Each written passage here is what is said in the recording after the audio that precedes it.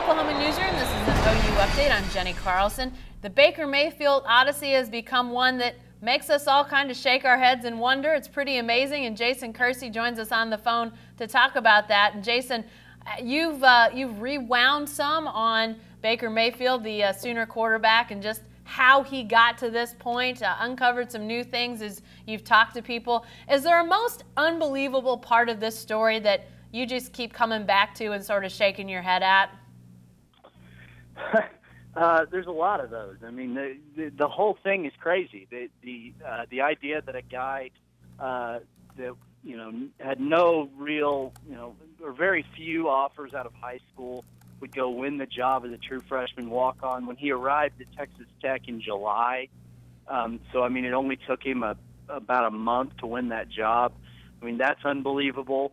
The uh, you know the fact that he would then leave, come to Oklahoma, play intramural softball for a while, and then um, and then just show up and walk onto the team.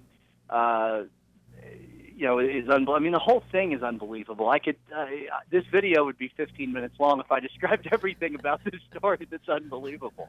You know? Yeah. Well, you know, and we've talked and had this uh, this aspect of it uh, in in the paper and on News OK, Jason. But uh, when Baker Mayfield decides to transfer, his father calls the compliance office at Oklahoma and gets left on hold for three, four, five minutes. I mean, what if he's not as patient as some people? What if he'd have said after two minutes, I, am done, I'm hanging up, or after four minutes, I'm done, I'm hanging up. They did come back on the line, but Jason, there were points all along this path where things might have gone differently and Baker Mayfield might not have been a sooner. Yeah, and you know, just the the the gall of him to come walk on to OU and play quarterback in the month um, after the Sugar Bowl when mm-hmm. you know it mm-hmm. appeared that Trevor Knight was going to be that was going to be the guy for at least the next two years, um, and it, there really wasn't much uh, question about that. So you know that's pretty um, gutsy as well. Uh, the, the the the the like I said, the idea that a guy would have to walk on twice, a guy this good, a guy that was you know very close to being invited to New York for the Heisman ceremony, um, is a first team All American according to a few different selectors and, and has his team, uh, you know, in the national championship races. It's really remarkable.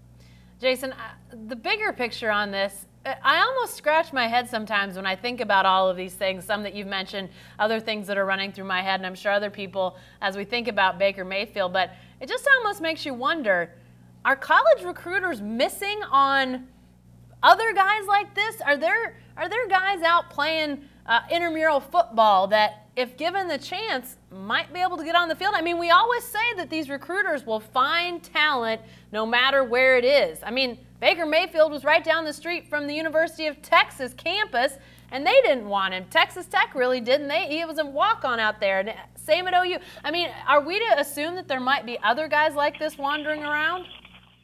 Well, I mean, I, I'm not sure because the thing about Baker Mayfield uh, that's sort of unique is that he was. Um, he, he played at Lake Travis High School. So the two quarterbacks before him, Garrett Gilbert and Michael Brewer, both went to, you know, both signed with major programs, and neither of them were really all uh, nearly as good as people thought they were going to be at the next level. Mm-hmm. And I think there's, I think there are a lot of people that that looked at Baker Mayfield, they saw his size, then they looked at his numbers and thought, well, that's a system they've got at Lake Travis, and you know, you know, they don't. Maybe, I think that hurt Baker Mayfield as much as anything in the recruiting, but um, certainly the the intangibles and the toughness and those things are things that a lot of people missed on. I'm not sure how many other Baker Mayfields there are out there, but it does make you wonder. Yeah, for sure. Yeah, I'm not sure there are many guys with his skill set and, like you say, his uh, his fiery competitive nature. I'm not sure that. Uh, those come along every day. Be sure to check out Jason's story on Baker Mayfield's Odyssey. It's in the Sunday Oklahoman, and it'll be on News OK a day or so later. Be sure to stay with the best coverage team anywhere at newsok.com every day in the Oklahoman.